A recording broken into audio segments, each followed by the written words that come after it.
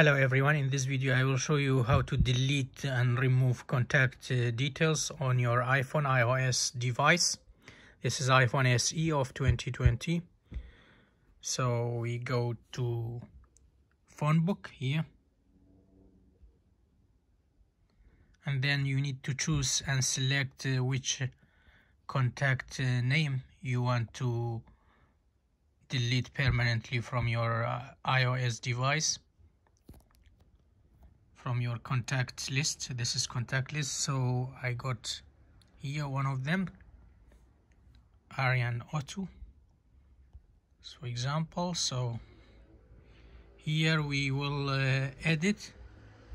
We will edit uh, click on edit to remove the contact details. Click on edit.